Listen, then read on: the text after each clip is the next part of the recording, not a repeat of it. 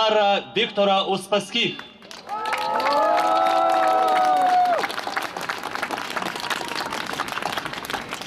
Labą dieną, labai malonu visus matyti, labai malonu, kad jūs suradat laiką atvažiuoti. Dar maloniau Dievas laimina. Žiūrėkit, koks oras. Tikrai, tikrai žinau, kad tie, kurie sėdė KGBistiniam pastate ir vykda teisingumą Lietuvos, vadinasi, lygtai demokratinis teisinis valstybei, jiems ta saulė nešviečia ir nešvies, todėl kad jie ir toliau veikia KGBistiniais metodais.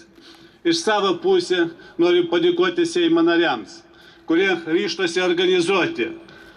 Jie ryštosi organizuoti lygiai pri- prieš 3 ar 4 dienas tą mitingą ir žiūriu tiek daug žmonių.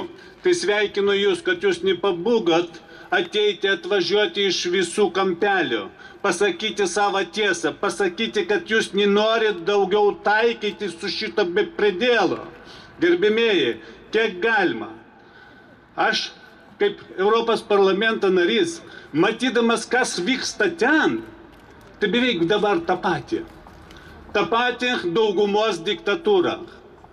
Visiškai ta veidmainystė. Kitiems šaliems mes pradedame pamokslauti, kad kažkur ta kažką ta ten netaip vykdama prieš e, žmonės ir taip toliau. Jūs žinot, šitam mitingui leidimą davė dviem, trim valandom ir tik 400 žmonių. Ko bijom mes?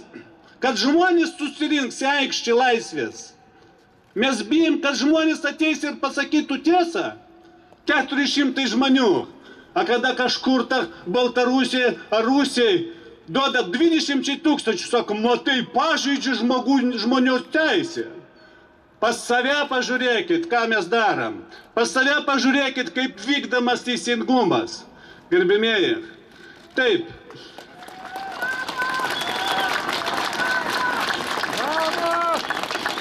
Aš suprantu, kad man skauda dėl darbo partijos, dėl to vyg, vykdymo e, neteisingumą ir taip toliau, bet aš privalau kalbėti apie visą šalį. Milijardai pavokti. Jau nekalbant ten mažeikų naftos ir visa kita, jau čia.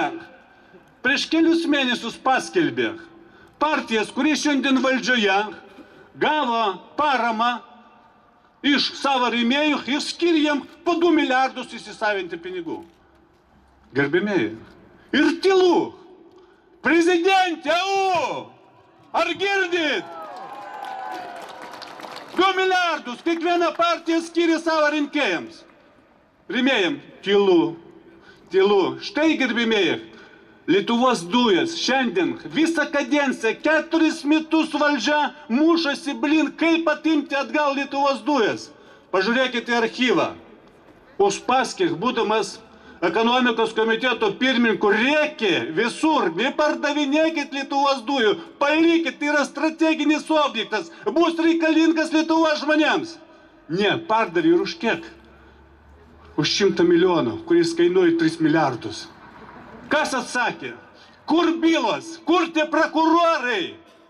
Kur jie yra? Kur tie teisėjai, kurie turėtų kažką tą daryti?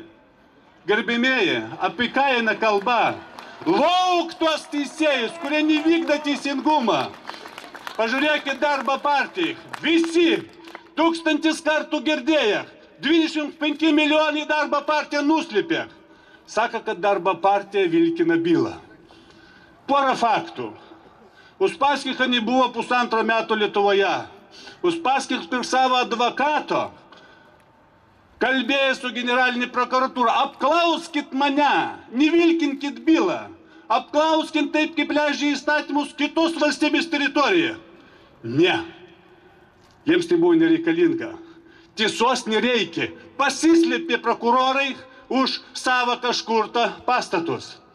Kitas dalykas, grįžau į Lietuvą. Areštavo. Aštuonis mėnesius pasadino, pasadino į, į namų areštą. Du kartus apklausti po penkias minutės. Tai kas vilkina bylą, pasakykit man. Kas vilkina bylą? Dabar vyksta teismo procesas. Byla sukurta na pusė tonas tų popierių.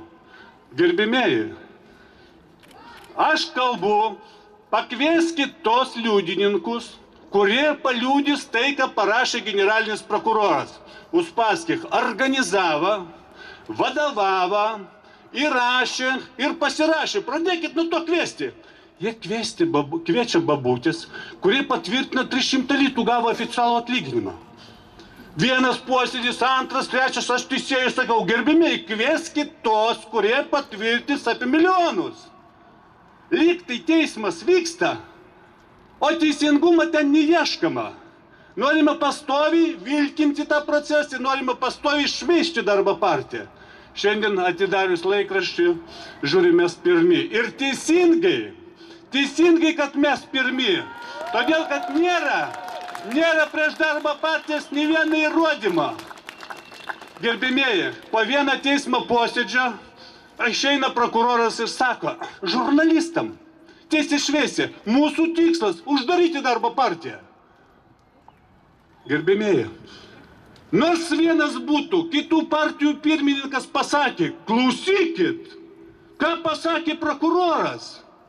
Gi visi Lietuvos žmonės balsavo už Lietuvos konstituciją, kuris sako, pagal Lietuvos Respublikos konstituciją demokratinė valstybė valdo ir patikėta valdyti partijoms. Tai reiškia, partijos turi maksimaliai būti apsaugoti nuo įtakos. Ir jis sako, mūsų teisė ir pagrindas dalykas uždaryti partiją. Ir visi partijos pirmininkai tyli. Sulauksit gerbimieji savo atpildą, kuriant dvigubos standartus. Sulauksit, kada ir procentą neturėsit, kada bijosit pasakyti už kitą kolegą, kurį norima sunaikinti. Štai gerbimieji, kur problema. Aš nenoriu kalbėti apie daugumą dalykų, noriu tik priminti. Liktai sukurta teisė. Demokratinė valstybė, gerbimieji, liktai yra demokratiniai institutai. Bet kaip žmogus įviliamas į šitą teisinį procesą, 15-20 metų kankinamas ten, net jeigu ir jis jau įrodė ir ją iš, jį išteisina ir visą kitą išteisus, tie, kurie nuteisė, šypsosi toj vietai ir sėdė teismo arba aukščiausio teismo e, vietose. Juos reikia pasadinti ten už tai. Tegul jie praeina tą kelią, kuo praeina kiti, kurie nukentėjo nuo jų sprendimų. Tegul jie pajaučia savo užpakalį. Šitų dalykų. Turim vyti tų teisėjų iš tų pastatų, kurie nesugeba vykdyti teisingumą Lietuvoje. Linkiu galvą prieš jūs. Ačiū, kad jūs atvažiavot, ačiū, kad palaikat. Žiūrėdamas į jūs, tiesiog gimsta iš karto mintis, ką reikia daryti toliau. Tikrai, nuo pirmadienį kitą savaitę teisininkam duodu pavydimą sukurti fondą, kuris ko gero sugalvosim kaip vadins, bet maždaug biteisis dienos gėda. Mes turim, mes turim įteisinti tokią dieną Lietuvoje, kad vieną dieną per metus galėtų visi nukentėjusi ateiti su palapinėmis ir atsistoti, atsistėsti ir pagyventi savaitėlį. Prižadu, parduosiu kokią savo įmonę, finansuosiu jį. Tegul atvažiuoja, keli, maistą, palapinį, tegul parodo, kiek pas mus yra neteisingai nuteistų. Gerbėmėjai, šitas fondas, šitą dieną turi būti, kad po šitos laisvės aikštės neužteks. Palapinį tęsis per visą Gedimino prospektą. Iki iki teisinės valstybės garantą Daukant aikštė. Tegul pažiūri, kas darosi pas mus teisėsaugos sistemoje. Daugiau mes nekentėsim užtenka. Juoda ant balta parašytos įstatymas turi vykdyti ne lauk. Ačiū Jums.